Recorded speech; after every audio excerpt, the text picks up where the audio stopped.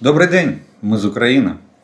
Я рад приветствовать вас на своем канале. Как всегда, приглашаю подписаться, поставить лайк этому видео, распространять ссылки на это видео, для того, чтобы его могли увидеть как можно больше людей.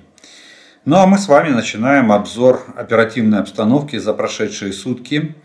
И сегодня на календаре 28 сентября и киевское время 17 часов. Итак, э, противник обстреливает позиции наших войск вдоль линии соприкосновения. Продолжает сосредотачивать усилия на попытках полностью оккупировать Донецкую область и удержать захваченные территории, а также на срыве активных действий сил обороны в некоторых направлениях. Кроме того, пытается восстановить потерянные позиции на некоторых направлениях, ведет воздушную разведку. Враг наносит удары по гражданской инфраструктуре и домам гражданского населения. Сохраняется угроза авиационных и ракетных ударов по всей территории Украины. За минувшие сутки враг нанес 10 ракетных ударов и 17 авиационных ударов. Э, нанес более 105 э, удар, огневых ударов с, э, с применением реактивных систем залпового огня. То есть, видите, в эти сутки активность э, противника возросла. Российские оккупанты также атакуют гражданские объекты, нарушая нормы международного гуманитарного права и законы и обычаи войны. От вражеского огня пострадали за прошедшие сутки пострадали более 40 населенных пунктов. В частности Харьков, Славянск, Краматорск, Николаев, Авдеевка, Марьинка, Одесса. Правда им удается отбиваться, но тем не менее ситуация и, э, и, другие, и другие города Украины. Ну, по ракетным ударам скажу так, что была попытка применения ракеты Х-59, она была сбита нашими ПВО. И э, вот уже неделю продолжается атака на город Одесса э, в, с помощью мопедов. Это уже, уже получил прозвище, или точнее народное название – иранский беспилотник Шахет 136. И э, ну, россияне почему-то его называют Герань-2. Но мы понимаем, что речь идет об, именно об иранском беспилотнике. Так вот, за свой звук мотора его уже в народе прозывают мопед.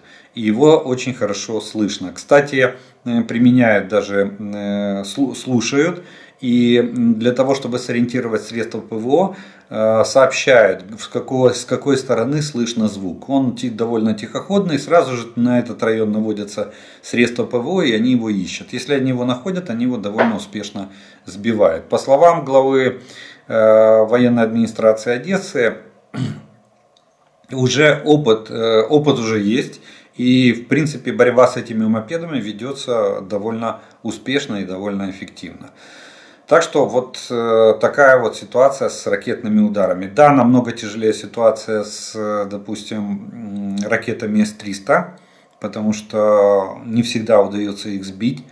Э, и это касается в основном у нас Харькова и Николаева, они больше всех подвержены ракетным ударам. Вот. А уже артиллерийским ударом, ну там довольно много. И Никополь, и Марганец, и Славянск, Краматорск, ну другие я перечислял, другие города. Итак, пройдемся по направлениям. Что у нас происходит?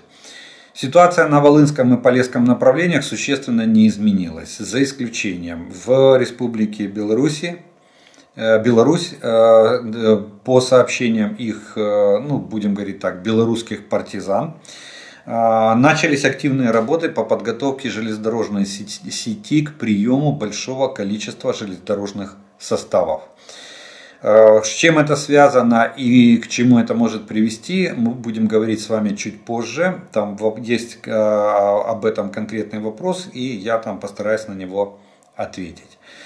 На остальных направлениях враг обстреливает населенные пункты из всех видов огневых средств. Танки, минометы, артиллерия различных типов авиации. Обстрелы ведутся на Слобожанском, Краматорском, Бахмутском и Авдеевском направлениях. На Новопавловском и Запорожском направлениях обстрелы э, ведутся не только по линии фронта, но и по близлежащим населенным пунктам. И того на Новопавловском и Запорожском направлении за прошедшие сутки более 25 населенных пунктов подверглись огневым ударам со стороны российских оккупационных войск. Среди них это Угледар, Микольская, Нескучная, Новониколаевка, Времевка, Тимировка и Ольгина. Ольговская. Более 30 населенных пунктов вдоль линии э, фронта пострадали от э, огня на южно-букском направлении. Целью проведения разведки, корректировки огня и нанесения ударов по объектам гражданской инфраструктуры противник совершал, совершил более 25 вылетов беспилотных э, БПЛА, своих БПЛА, разведывательных БПЛА. Российские оккупационные войска начали, сбор, э, начали набор личного состава э, призванной части, призванной, призванного частичной мобилизации.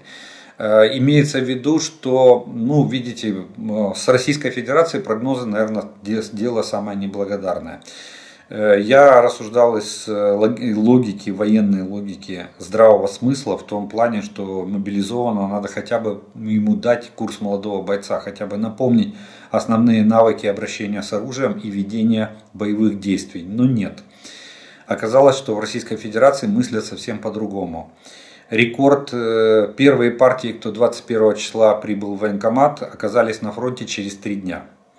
24-го мы уже наблюдали здесь э, вот этих так называемых мобиков. Тоже для них военные, наши военные уже придумали такой термин, название. Так вот, э, эти мобики, ну, они действительно оказались смертниками, даже еще хуже, чем я предполагал. Я думал, их чуть-чуть потренируют, и где-то через недельки-две мы их увидим на линии фронта. Оказалось, мы их увидели через три дня, их вообще не тренировали, их просто переодели, вооружили и быстро привезли сюда для восполнения потерь. Ими затыкают все дыры.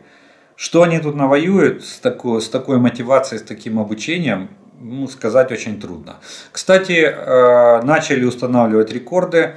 Рекорд э, на сегодняшний день состоит 6 суток с момента получения повестки до попадания в плен вооруженным силам Украины. Российский мобилизованный причем он с перепугу даже начал а, при, при опросе на камеру, он даже, даже сказал, что его призвали, мобилизовали в ряды советской армии. То есть человек, понимаете, да, он еще воюет а, мерками советской армии, в которой он когда-то служил. Вот такое вот. Но тем не менее они появились. Они сейчас э, составляют настоящее пушечное мясо а, именно на, э, на, передней, на переднем крае. Таким образом, прибыло подкрепление для подразделений 1-го танкового полка 2-й мотострелковой дивизии 1-й танковой армии.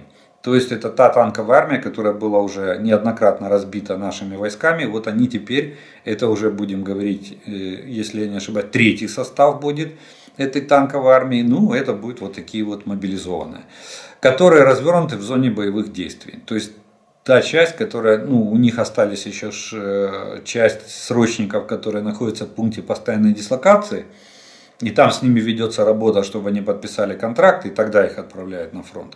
Но пока они контракт не подписали, они служат в пункте постоянной дислокации. И вот тут э, даже Генеральный штаб вооруженных сил Украины отмечает, что это, этих мобилизованных вообще не тренировали. Ну, то, что я вам только что рассказал. Также военно-политическое руководство Российской Федерации одновременно с частичной мобилизацией продолжает так называемые меры самомобилизации. Лица, осужденные за уголовные преступления, прибывают в подразделения, э, уже воюющие в Украине. Ну, я вообще не представляю, как они их оформляют, потому что законодательство не разрешает с судимостью служить в вооруженных силах России. И, соответственно, я так понимаю, что они пополняют те подразделения, которые здесь воюют нелегально, а именно частные военные компании. Вот их туда и везут. Э, так что наполнение личным составом постепенно начинает набирать обороты на линии фронта в Украине со стороны российских оккупационных войск и частных военных компаний, которые они э, сформировали и которые ведут боевые действия против вооруженных сил Украины. В течение текущих суток подразделения сил обороны Украины отбивали атаки в районах населенных пунктов Зайцево, Майорск, э, Зализная, Николаевка, Вторая, Первомайская, Победа, Новомихайловка и Безымянная. Как мы видим, это все Донецкое направление. Не прекращается. Ну, тут опять же, видите, логика. Какая, какая логика есть политическая воля Путина, и они убиваются об наши позиции, не, несмотря ни на какие ни на какие потери, ни на какие жертвы среди... Пополняют, да, заключенными. Убили, к вечеру посчитали потери, подали заявку, на следующий день прислали им там какое-то какое количество. Вряд ли они могут удовлетворить все заявки, но тем не менее какое-то количество вот этих заключенных, подписавших контракт, прислали. И они опять идут в атаку, опять идут как, как в уголовном мире принято, на фарт. Э, пофартит, не пофартит. Ну, судя по тому, что прибывают новые партии, то особо не фартит. Несут они огромные потери. Авиация сил обороны нанесла 17 авиационных ударов за прошедшие сутки. Подтверждено, что уничтожено 14 районов э, сосредоточения живой силы и военной техники противника. Три опорных пункта и 7 позиций зенитно-ракетных э, систем. Кроме того, за сутки украинские подразделения ПВО уничтожили один самолет, 6 беспилотников и одну ракету Х-59. Ракетные войска и артиллерия тоже не отстают от наших э, воздушных сил и поразили 12 районов сосредоточения живой силы и техники противника. 4 склада с боеприпасами, позиции противовоздушной обороны и радиоэлектронной борьбы. В частности, была уничтожена автоматизированная станция глушения «Житель».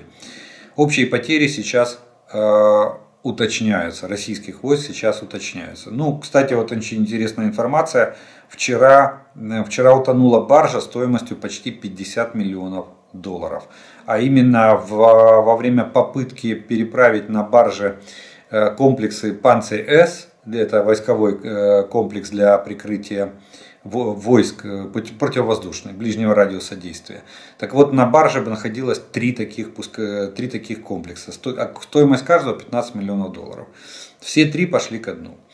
А, ну, поймала, поймали их э, ракеты, точнее снаряды Хаймарс, и э, баржа ушла ко дну вместе с этими комплексами. Ну, Россия денег не считает, страна богатая, населения много, если что, Э, я так понимаю, отберут деньги населения просто. Там, кстати, сейчас начинается паника по поводу снятия вкладов э, с банков Российской Федерации. Потому как поступление валюты может прекратиться э, в любой, в любой момент. Об этом я тоже скажу чуть-чуть позже. Итак, по военным новостям на сегодняшний день по оперативным направлениям вроде как все. Единственное, что добавлю, немножко неофициальной информации. Вот это была официальная сводка. По неофициальной информации, а, если посмотреть э, российские особенно источники, они говорят о том, что мы э, развиваем успех на Харьковском или Слобожанском направлении. Вчера в вечернем а, обращении президент Зеленский сказал, что успех есть, но не конкретизировал.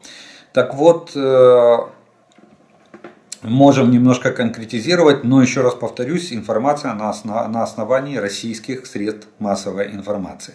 По российским средствам массовой информации э, лиманская группировка войск практически находится в окружении. Вторые сутки не выходит на связь. Там казачий полк э, кубанских казаков, э, два, э, два батальона «Барс», и, и еще несколько батальонов тактических групп разных частей и подразделений.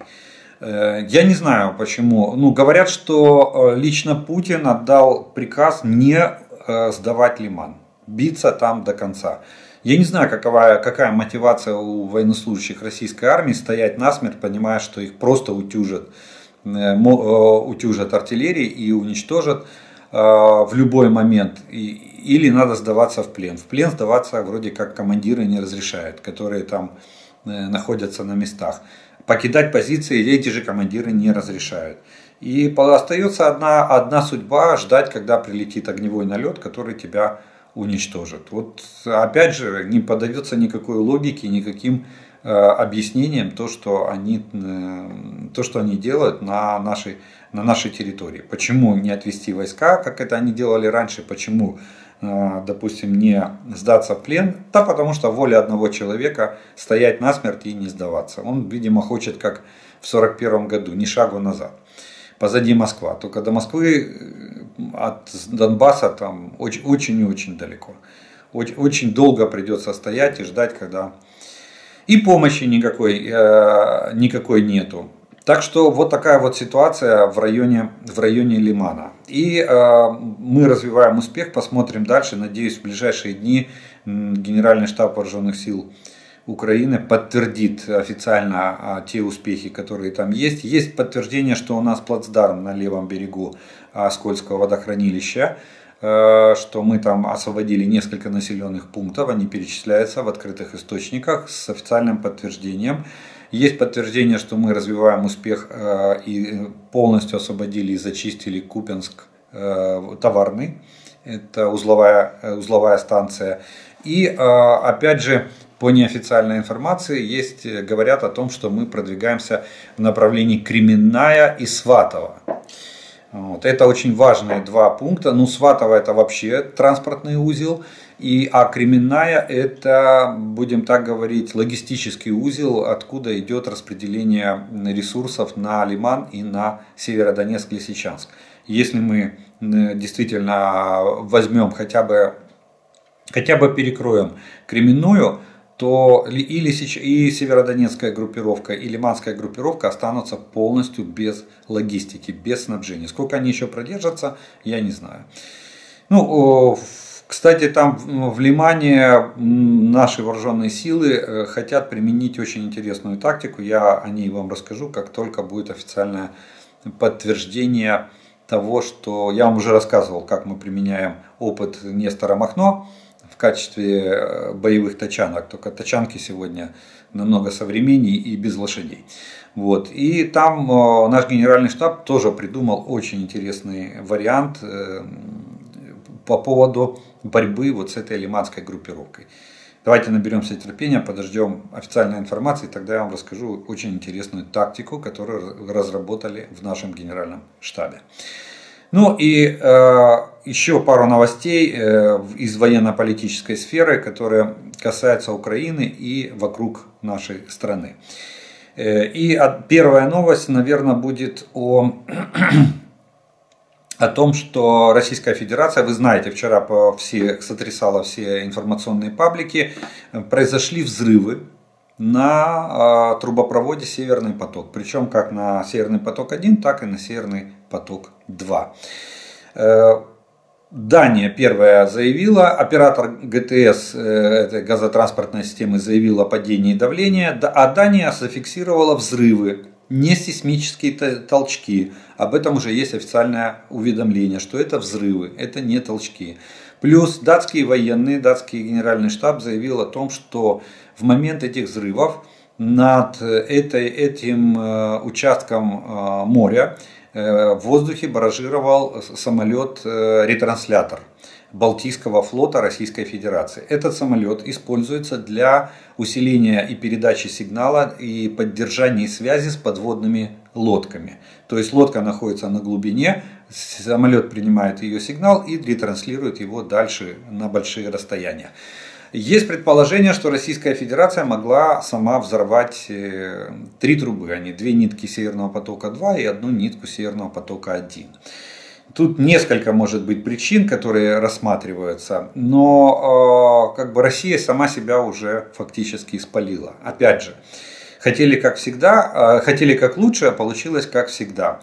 В чем спалило? Дело в том, что э, Российская Федерация заявила о том, что Германия обязана платить по долгосрочному контракту. Контракт на поставку газа в Германию подписан до 30 года. Условия контракта гласят, либо бери, либо или, бери или плати. То есть, если ты не берешь газ, ты обязан оплатить тот объем, который прописан в контракте. Там 40 миллиардов кубометров в год. И «Газпром» уже потребовал от, России, от Германии выплаты за не э, э, выкачанный газ за непринятый газ от Российской Федерации. А газ, получается, понимаете, э, качать не почему, потому что трубы якобы кто-то взорвал.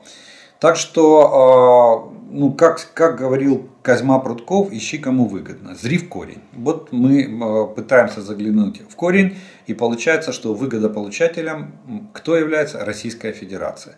Они надеются на то, что Европа замерзнет, плюс они надеются скачать по условиям контракта э, деньги с Германии.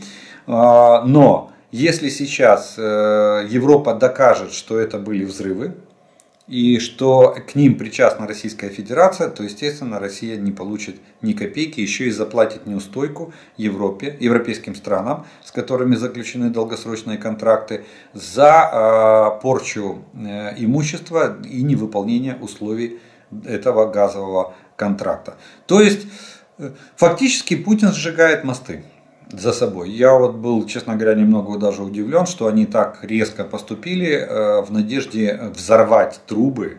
Э, потом ремонт будет стоить очень больших денег, и это будет, вы же понимаете, насколько это будет тяжело на такой глубине поднять эти трубы, э, соединить, отремонтировать, соединить их, загерметизировать и опустить их обратно. То есть, ну, восстановление будет край, крайне затруднено. Или или остается на сегодняшний день единственным э, наиболее эффективным способом и а, с большой пропускной способностью э, остается газотранспортная система Украины для поставок газа куда? В Европу.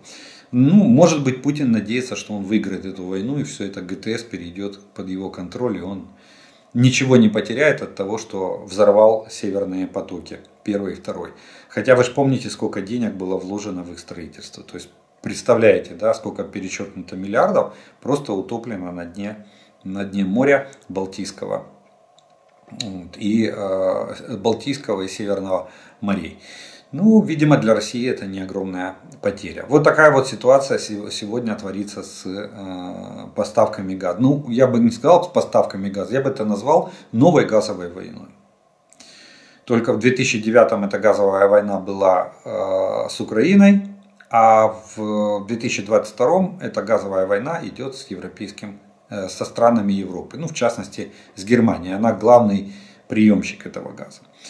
Сегодня происходит очень важное, я бы сказал, событие, которое может повлиять на дальнейший ход, в том числе и боевых действий, в том числе и по созданию нового миропорядка. Именно заседает Совет Безопасности ООН. Соединенные Штаты Америки предложили новую резолюцию, собрали, созвали Совет Безопасности, и эта резолюция Совбеза ООН должна осудить, внимание, осудить действия России по аннексии территории Украины. А, почему э, резолюция написана строго в соответствии с уставом ООН. Оказывается, согласно уставу, ООН создавалась именно для того, чтобы не допускать аннексии чужих территорий. И если Российская Федерация пытается себя позиционировать правоприемницей Советского Союза, которой она не является в, в, в, этом самом, в Организации Объединенных Наций, потому что Россия никогда не подавала документам на свое переоформление а, в, как, уча, как, как члена Организации Объединенных Наций. Они внутри страны объявили себя правоприемником, э, и все, и на этом все закончилось. Э, к сожалению, величайшему секретариат он молчит и не хочет показывать э, документы что там еще числится СССР. Ну, как бы юристы говорят, что именно так и есть. Кстати, мы там числимся как УССР украинская Советская Социалистическая Республика. Тоже мы не, переоформлялись. Но суть в том, что та главная задача, ради которой, или тот главный принцип, ради которого создавался, создавалась ООН, а именно э, недопущение аннексии чужих территорий, Россия это совершила. Сегодня хотят принять резолюцию, чтобы осудить действия России. Посмотрим, воспользуется ли Россия правом вето и как будет проходить голосование, поддержат ли такие страны, как Китай, э, Российскую Федерацию, воздержатся от голосования или проголосуют за эту резолюцию. Кстати, это очень будет э, показательно в отношении позиции Китая э, к этой войне. Если же Россия воспользуется правом вето и резолюция будет заблокирована в Совбезе ООН, то Соединенные Штаты уже заявили, что они будут выносить эту резолюцию на Генеральную Ассамблею. Вы знаете, что резолюция Генеральной Ассамблеи принимается большинством голосов. А, а, и, но она не является она не является обязательной к исполнению. Тем не менее, осуждение таких действий может быть. В своем выступлении перед Советом Безопасности ООН Владимир Зеленский, президент Украины, отметил и опять же предупредил Российскую Федерацию, что если Россия признает результаты референдумов, вот этих э, псевдоплебисцитов, которые они провели на оккупированных территориях, то нам с Путиным больше не о чем разговаривать. То есть переговорного процесса не будет априори. Кстати, один раз это уже сработало. России был поставлен, э, поставлено условие, что если будет проведен суд над э, бойцами полка Азов, помните в Мариуполе они в, в филармонии, драмтеатр они взорвали бомбой, и, а, а в филармонии они там строили на сцене, варили клетки из э, толстой арматуры и собирались наших бойцов э, полка Азов посадить в эти клетки, устроить там судилище, объявить их террористами. Тогда было поставлено условие, что если будет суд, не будет никаких переговоров. Посмотрим, как это сработает сегодня с Российской Федерацией. Почему? Потому что там э, во всеуслышание начинают объявлять уже результаты этих псевдоплебисцитов, псевдореферендумов, и там такие результаты, 97% за, это при 12% обработанных бюллетеней. Я, вообще вопрос, откуда у вас списки? Откуда у вас списки людей, проживающих на, этой, на этих территориях? Сколько, сколько проживает? Сколько, сколько сегодня осталось там? С учетом перемещенных лиц. Это ж полная вакханалия. Там вообще нельзя определить, кто, где, чего и сколько а кто не вышел, а кто спрятался, а кто, ну, это пол, полный бред. Это вообще не соответствует никаким, не, ну, не налазит, не, не пролазит ни в какие ворота. Но тем не менее, э, опять же, логика в действии Российской Федерации, она только российская. Вот кто ее не понимает, эту российскую логику, тот и не может понять действия России. Получается, одна страна против всего мира. Нет России, нет мира. Понимаете, как они ставят вопрос? Это чересчур, как бы, ну, на мой взгляд, они себя очень сильно в этом плане переоценивают. Ну и еще одна новость напоследок э, по военно-политическому блоку, это Казахстан. Э, министр иностранных дел Казахстана сделал очень интересное заявление. Он предупредил, что если Российская Федерация объявит в розыск уклонистов, которые пересекли границу Казахстана, это граждан Российской Федерации, то они их всех выдадут. Вот они их всех переловят и депортируют в Российскую Федерацию. Так что все, кто выехал в Казахстан, имейте в виду, что МИД Казахстана э, дал сигнал Российской Федерации, что если э, те, кто мужчин призывного возраста, мобилиз... Э, военнообязанных мужчин в возрасте от 18 до 60, если Россия э, попросит их выдать, Казахстан их всех выдаст. Так что, может быть, зря вы ехали туда, в Казахстан. Вот такие вот, э, вот такие вот военно-политические новости на сегодняшний день вокруг Украины и в самой Украине. Ну что же, на этом мы военный и военно-политический блок заканчиваем. Я делаю небольшой перерыв. У вас есть время подписаться на мой канал, поставить лайк этому видео. Ну и через некоторое время мы продолжим.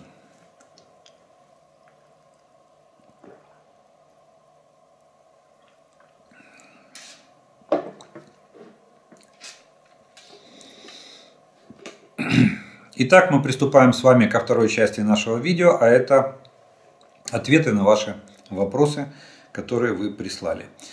И первым вопросом сегодняшнего дня будет э, следующий. Я из Киевской области. Скажите, насколько реально для нас создать оборонный союз с Великобританией, Польшей и странами Балтии? Ну, это так называемый Балтийско-Черноморский союз или союз Триморья, э, как его еще называют. Вполне реально. И я думаю, что этот союз будет создан. К сожалению, никто не будет сейчас создавать этот союз в условиях войны. Почему? Потому что ну, этим странам придется брать на себя союзнические обязательства. Хотя я не исключаю такой вариант, если будет, допустим, усиление российской агрессии, эскалация конфликта, а, которую пытается на сегодняшний день создать Российская Федерация, то да, вполне это возможно этот союз может быть и, и создан, или документ о его создании может быть подписан, даже в условиях э, боевых действий.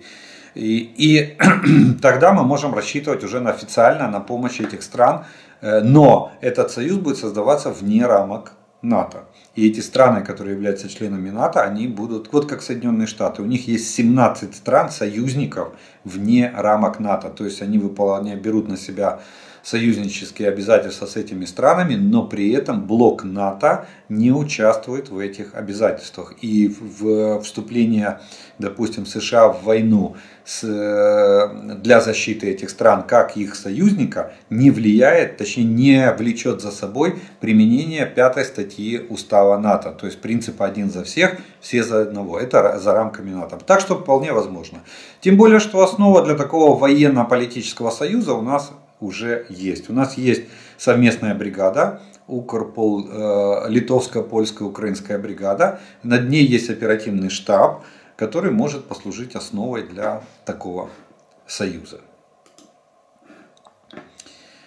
Э, следующий вопрос. Некоторые эксперты говорят, что война на 2-3 года. Хотелось бы знать ваше мнение. Неужели у Российской Федерации есть столько денег, военной техники, человеческого ресурса, чтобы так долго воевать. Нам помогает 53 страны, а у них почти нет союзников. Неужели нашим ребятам придется молотить их 2-3 года? Нет сомнений в, вашей, в нашей победе. Просто жаль людей, мужчин. Э, ну, вы абсолютно правы что, правы, что просто жаль людей. Просто политическое руководство России гонит их на убой. Да, действительно, запасов у них много. И, но э, эти запасы, они уходят в прошлое. Понимаете, вот даже сейчас э, мы наблюдаем эшелоны воинской техники на, допустим, в Ростове. Стоит эшелон, там э, на нем эм, грузовики, э, снятые из хранения. Там кразы, 200, 225 кразы еще, которые ставились, наверное, Советским Союзом на хранение. Они их снимают и они будут на них воевать они сформируют вот этот миллион двести тысяч, которые они хотят собрать. Кстати, сейчас уже более-менее вырисовалась э, схема, которую они э, хотят провести по мобилизации, то есть всего миллион двести тысяч. В этом году до конца года они хотят собрать до 500 тысяч и в следующем году еще 700 тысяч э, отмобилизовать. Как это у них получится, ну, очень трудно сказать. Хотя, видите, те же мобилизованные особо сильно не сопротивляются. Они живут в дичайших условиях, в каких-то гадюшниках, куда их селят. Сейчас заселяют спортивные залы в городах этими мобилизованными. То есть им выставляют там солдатские кровати в два яруса, и они там лежат без постельного белья, в лучшем случае на матрасах, э, привезенных там откуда-то. Причем старых советских этих ватных матрасов, где-то видно тоже снятых с НЗ.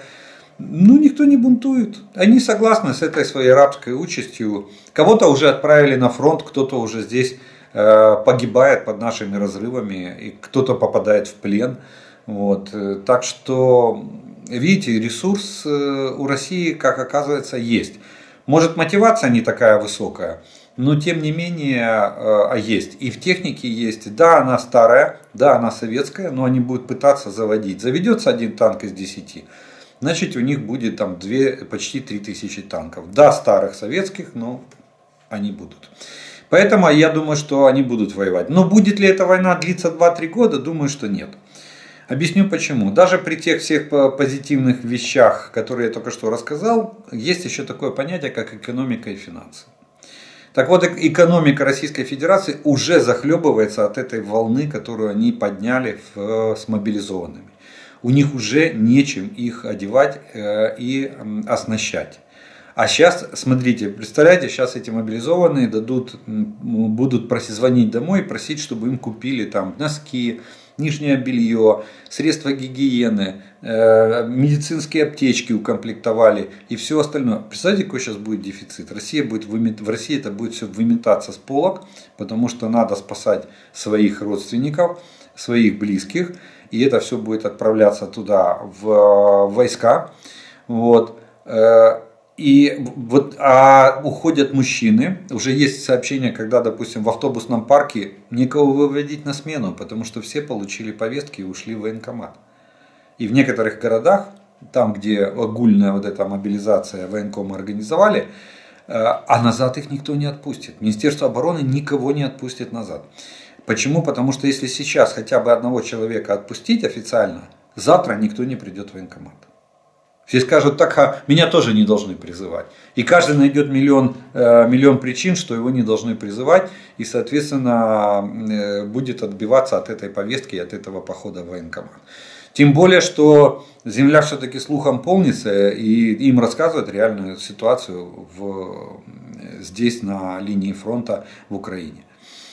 Так что на России, я думаю, что чем дальше, тем будет больше нарастать проблемы. Посмотрим, как они сейчас дальше будут продолжать эту мобилизацию, куда они будут набирать этих людей.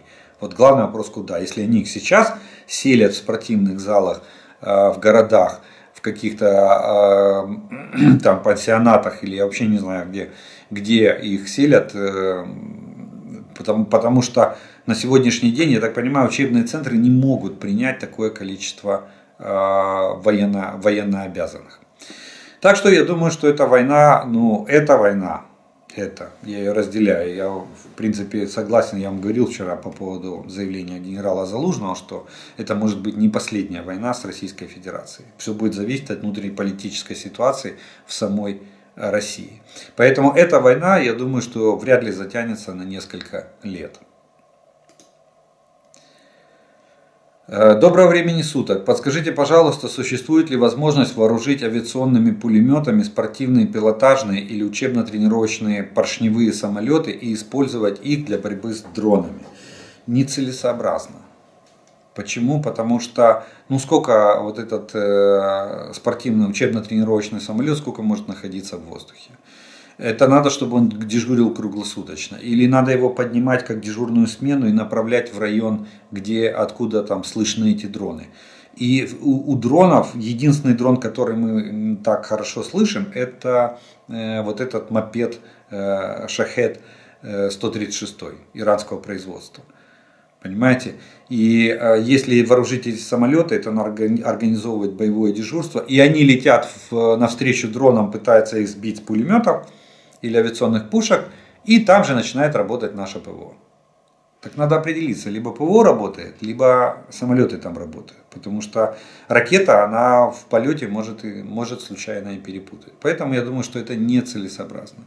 Это как стоять, помните, были предложения, что слушать э, небо, летят ли ракеты, летят ли самолеты. А, ну, вопрос, как вы думаете, кто взорвал газопроводы, я уже ответил. Я думаю, что их взорвала сама Россия, по каким причинам я тоже объяснил. Вернитесь к оперативной обстановке, я там ответил. А, короткий вопрос. Что раньше, Лиман или Херсон? Конечно, Лиман. Конечно, Лиман, потому что с Херсоном там довольно э, серьезная ситуация. Ну, мы уже говорили неоднократно об этом. Там довольно большая, там самая большая группировка, где-то порядка 20-25 тысяч.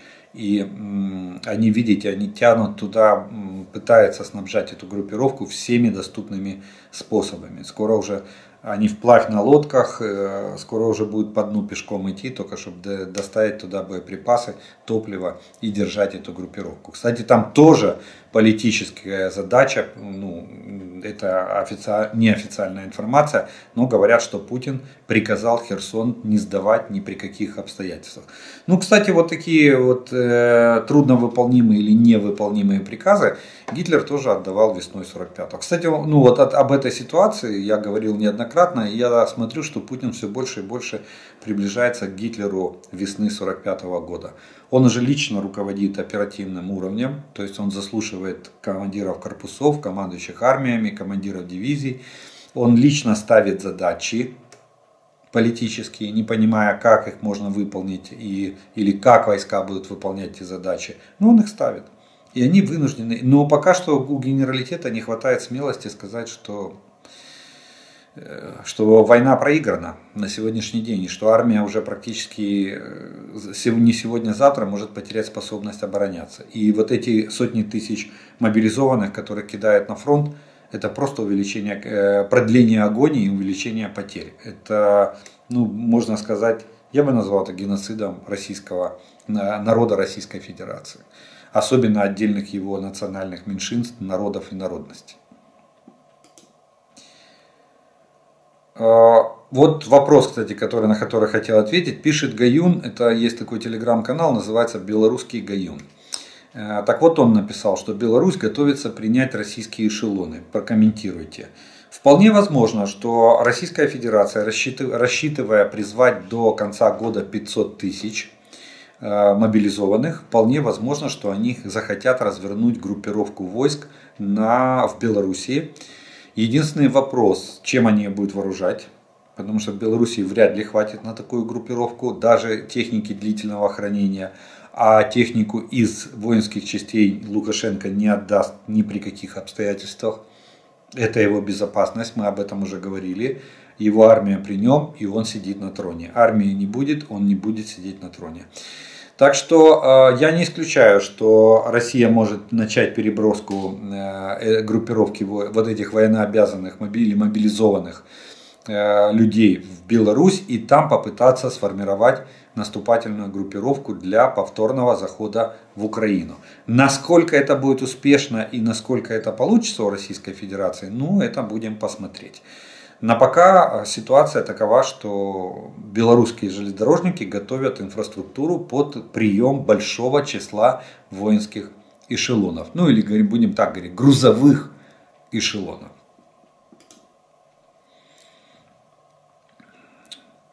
Э, прокомментируйте, пожалуйста, статью э, Bloomberg, что после мобилизации Россия попытается захватить Одессу и Харьков. Возможно ли это? А, какие шансы на это, э, на это и какие, и какие перспективы? Шансы минимальные, перспективы тоже очень минимальные и довольно плачевные. Почему? Потому что, чтобы идти на Одессу, надо сформировать ну, практически новую армию для Российской Федерации. Потому что то, что воюет в Украине, оно настолько измотано и потрепано, что восполнением потерь вы не вернете боеспособность. Надо а, группировку численностью где-то 200-300 тысяч для того, чтобы возобновить. Хорошо обученную и хорошо вооруженную. При, при тяжелым вооружением. А судя по тому, что осталось, боевой состав танков заканчивается, мы уже перевалили за половину из боевого состава танков. Все остальное это длительное хранение, то есть старые танки. А, грузовых машин для обеспечения логистики уже катастрофически не хватает, они уже снимают с длительного хранения. Артиллерийских систем тоже осталось довольно мало и боеприпасы заканчиваются, иначе бы они не бегали э, с протянутой рукой по всему миру. Они слишком поздно это начали, понимаете? Вот, это, вот такую армию, а миллион двести тысяч, надо было готовить в 2021 году. И нападать надо было вот армией в миллион двести тысяч человек. Тогда нам бы было очень тяжело. И не факт, что мы бы удержали э, Киев и другие, другие области Украины. Но э, как всегда, Россия сделала по-своему, нелогично поступила. Э, поэтому, поэтому, кстати, я и говорил, что в свое время, что как человек здравомыслящий и понимающий логику планирования военных кампаний, я понимал, что войны не будет, не должно было быть. Вот, что такой маленькой группировкой нападать на такую огромную страну. Что и получилось, кстати. Вот, э, что они не выполнили ни одной, до сих пор не выполнили ни одной военной и политической задачи э, вот этого похода э, в Украину. Поэтому, поэтому говорить о том, что они завтра пойдут на Харьков или на Одессу, я бы не стал. Это если, если гипотетически допустить, что они соберут, укомплектуют, обучат и обучат вот такую армию, то это компания, допустим, летняя компания 23 года. Это вот как вариант.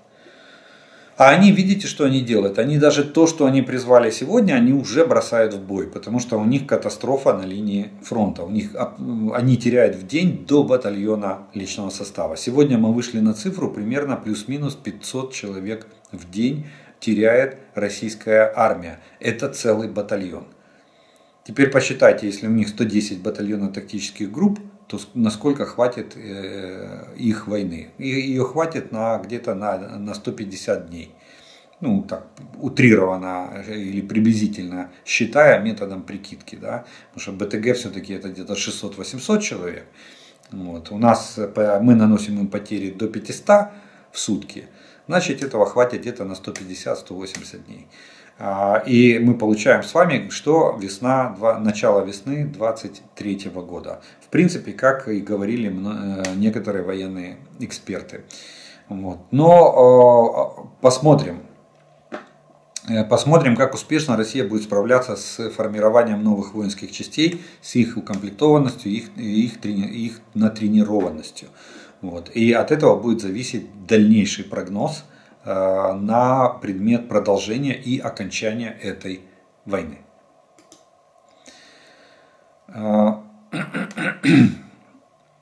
почему вы так уверены, что происходящая мобилизация Российской Федерации это только восполнение потерь? Есть ли вероятность, что они пойдут через Беларусь на Волынь чтобы, очень, э, чтобы отсечь нам поставки военной помощи. Какова вероятность возобновления нападения по направлениям, как на 24 февраля? Что будет с Харьковом, Волчанском, Дергачами, Чугуевым? Не пойдут ли они опять на Купенск и Изюм? Как лучше поступить мирным? Спасибо э, ВСУ и ТРО за все. Отдельная благодарность за Харьков – ребята, мы вас любим. Ну, я только что это все разъяснил и рассказал, что все зависеть будет от э, возможности Российской Федерации сформировать необходимые группировки войск.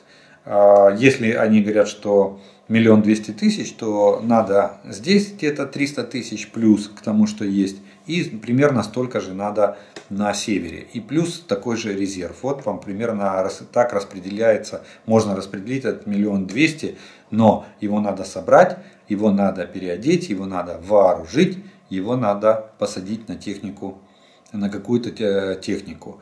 И тогда, да, тогда можно говорить, что Российская Федерация сформировала наступательную группировку, которая действительно может угрожать территориальной целостности и суверенитету Украины. Ну, пока они этого не сделали, мы можем, э, можем ввести э, боевые действия э, по освобождению нашей территории и восстановлению суверенитета нашей страны. Скажите, пожалуйста, когда по, по прогнозам будет наступление ВСУ в запорожском направлении? Ну, просто уже задолбали каждую ночь минимум 10 ракет прилетает в город Запорожье. А еще иногда днем добавляют. От Харькова орков отодвинули, и сам город они уже не трогают. А почему не трогают? Они его обстреливают, просто меньше стали, и в основном только ракетами. А Запорожье теперь самый близкий областной центр к линии фронта. Сейчас из Запорожья сделают уже, уже делают второй Харьков. У нас много беженцев со всех областей, Донецкой, Запорожской, Херсонской. Уезжать не собираются, паники нет, но хоть какой-то прогноз хочется услышать, сколько еще терпеть.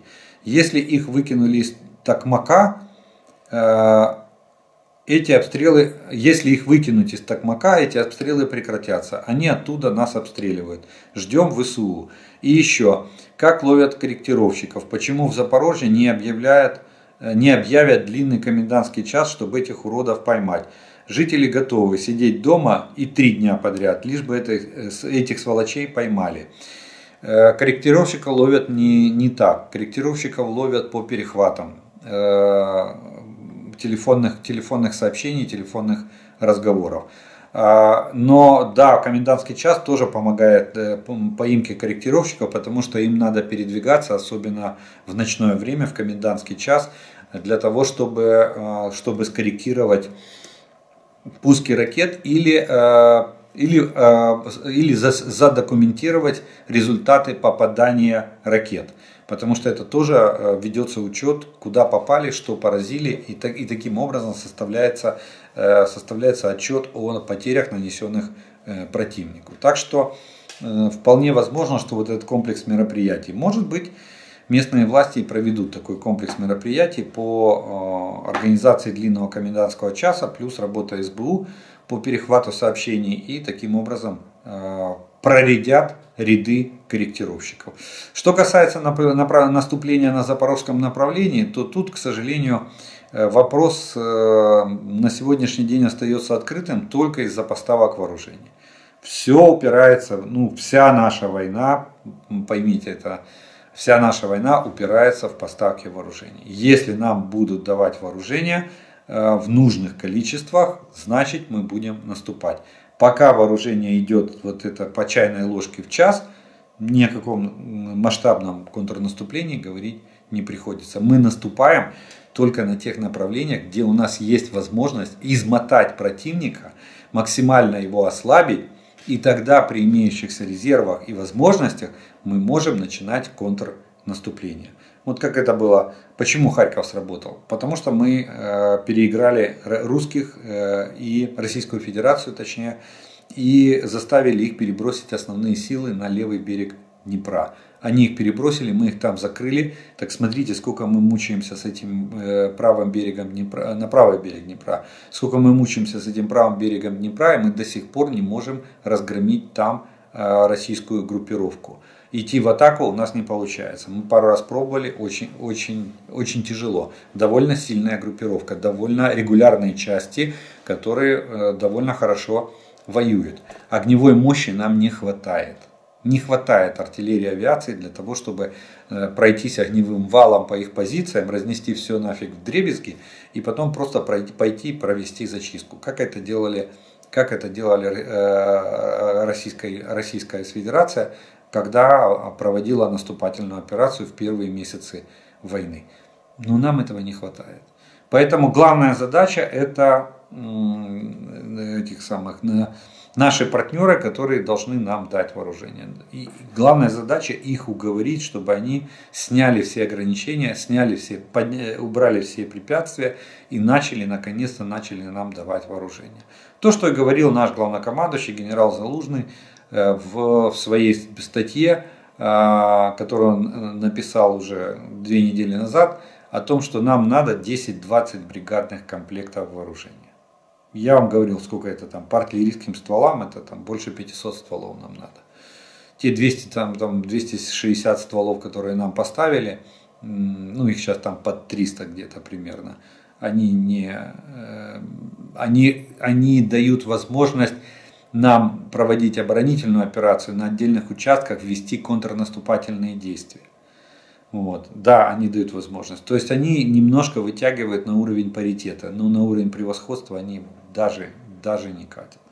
Так что, так что вот, такая вот, э, вот такие вот дела. И сегодня сказать, что там завтра на Запорожье мы пойдем в наступление, а тем более вокруг э, Мелитополя сегодня формируется довольно большая группировка, там уже больше 10 БТГ, вражеских, и они там будут упираться всеми конечностями, чтобы пытаться защитить Мелитополь, потому что Мелитополь решает, я уже говорил вам, решает сразу целый э, список задач, политических задач, даже не столько военных, сколько политических задач. Это Энергодар, который попадает в окружение, если мы берем Мелитополь и станция возвращается под наш контроль. Это перекрытие Северокрымского канала в Каховке и это перерезание сухопутного коридора в Крым. Все, вот эти три политические задачи для Путина это будет полный, э, как немцы говорят, alles zusammen. То есть полный конец. Вот такая вот, э, вот такая вот ситуация с наступлением. Ну что ж, и, наверное, на этом мы тоже приветственную часть, тоже, э, точнее ответы на вопросы, вторую часть нашего видео мы закончим. И приступим к третьей части нашего видео. Это ваши приветствия. А, я смотрю по отзывам, очень многим нравится эта рубрика. А, услышать, как люди э, передают приветы, пожелания нашим вооруженным силам, силам обороны, э, украинскому народу и государству Украина. Итак, сегодняшняя сегодняшний раздел приветствия начинает следующее. Э, звучать оно будет так. Мои витания зі Львова, родом из Краматорска. Очень жду момента, когда можно будет наконец-то вернуться домой и жить под мирным восходящим солнцем родного Донбасса. Вот житель, э, пишет житель Краматорска.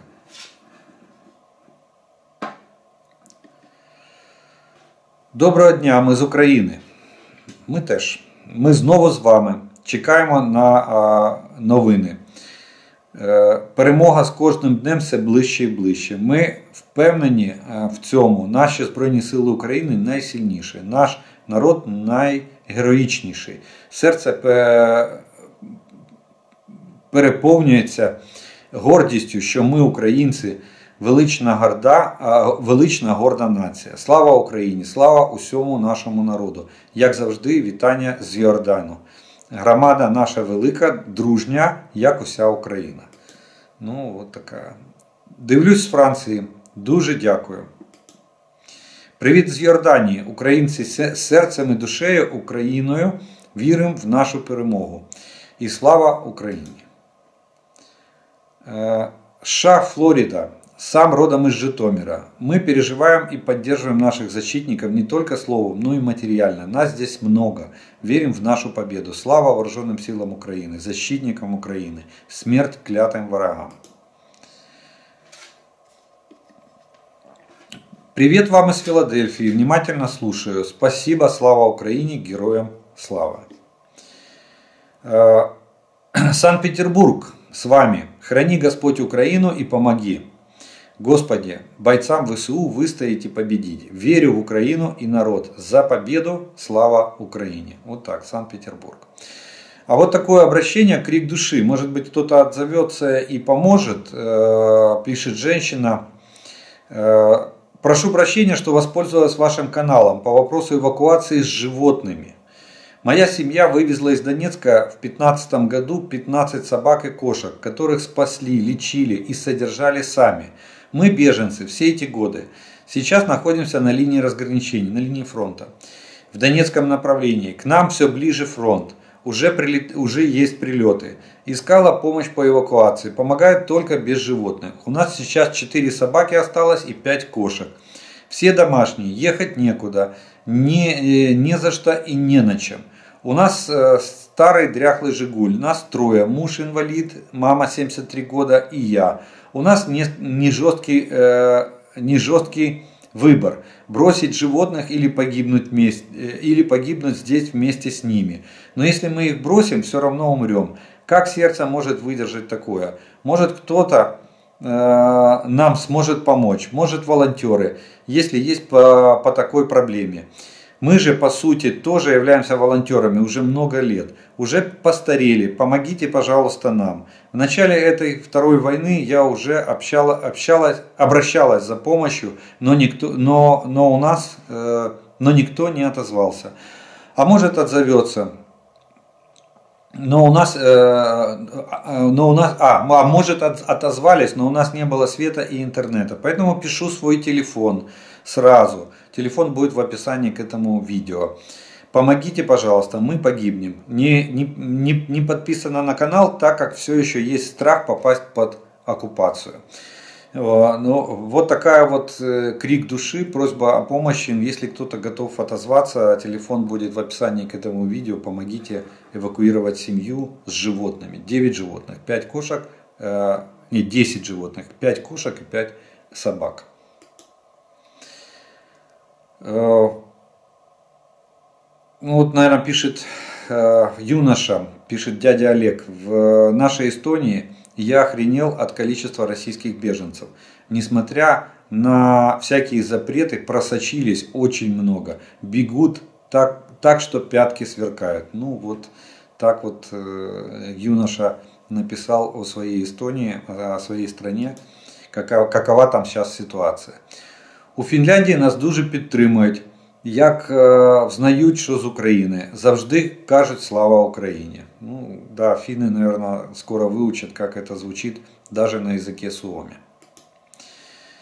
Людям, которые передают нам теплые приветствия и поддерживают, огромная благодарность. Привет из Винницы.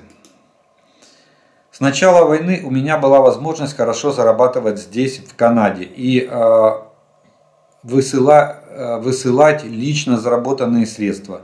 В общей сумме выслала около 6 тысяч долларов в разные организации. Э,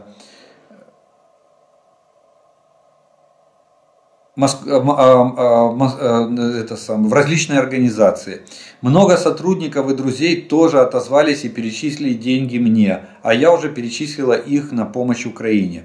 Тримаємось разом, усе буде Україна. Вот так вот помогают в Канаде организовывать друзей и родственников. Спасибо большое за работу. Я родилась в России в украинской семье. И мама, и папа из Родинского района Алтайского края. А, все, я понял. Там очень много украинских сел. Моя прабабушка пешком шла с Полтавской области туда. Э, я объясню, э, действительно, в Алтайском крае и в Амурском крае очень много сел, которые говорят, до сих пор говорят по, э, на украинском языке. Это сильные и высыльные. Это, это последствия программы, сталинской программы переселения народов. Вот когда у нас был геноцид и голодомор 30-х годов, тогда чистили Украину капитально. По некоторым оценкам было переселено несколько миллионов человек. И вот они, да, они корни остались. Я сам был в Заветинское, это Мурская область, и там действительно э, я был шокирован, когда село, мы зашли, зашли в ближайший населенный пункт возле станции, ну станция это полустанок, Заветинская. Надпись, деревянная, деревянная платформа и тупик железной дороги. А, так вот, э, там село близлежащее было, э, украиноговорящее было полностью. И когда мне объяснили ситуацию, ну я тогда советский офицер, для меня это было дико и страшно. Вот, но тем не менее я вот э, столкнулся. Так что действительно, видите, с Полтавской области прабабушка шла пешком. Представьте, гнали по этапу, кто дошел, тот дошел, кто не дошел, умер по дороге. Так что как в царские времена, каторга и каторжане шли на каторгу пешком. Каторга была на Сахалине, а судили там на европейской части Российской Федерации. Так вот, продолжу. В нашей семье сохранилась мова, хоть и не идеально. Конечно, ведь украинский язык в школах не преподают с 1933 года. Даже в украинских селах. Это подлая война, огромная дыра в моем сердце – я так благодарна храбрым воинам Украины за защиту страны, которая должна была быть мне родиной, если бы не депортация украинцев. Мой папа и большая часть украинской семьи верит пропаганде, э, мы практически не общаемся. А я верю в победу Украины, верю всем сердцем. Помогаем, чем можем. Привет из юга Германии. Э, Баден-Вюртемберг. Вот э, такое вот послание с криком тоже с э, украинская семья с Алтайского края. Так что нас много везде. Привет из Казахстана. Украина, держитесь. Э, вы победите орков. Э, стопудово. Вы уже победили. Парашка это позор. Молимся за вас. Вот такой привет из Казахстана. Каждый вечер ждем Э, новостей. Мы из Москвы, но переживаем за оперативную обстановку. Радуемся за каждый освобожденный участочек вашей земли. Желаем скорейшего окончания безумной и бездумной бойни. Вот такая москвичи написали. Добрый день, мы из России и очень рады э, вас видеть и слушать. Желательно хороших новостей для Украины. Привет из Казахстана. Э, Караганда. Я украинка, родилась в Украине, на Хмельниччине. 40 лет живу в Казахстане. Вся родня в Украине. Очень переживаем. Помогаю з перших днів війни. Обов'язково прийду і будемо святкувати перемогу. Ну от. Ждем, приходите. Привет из Мельбурна. Спасибо за а, видео. Э, живу в Австралии 25 лет, но сейчас мой родной Харьков в моих мыслях каждую минуту. Слава нашим героическим ВСУ, слава Украине. Привет с острова Санта-Крус. Вот так вот. Я, я здесь единственный украинец. Славлю и помогаю как могу.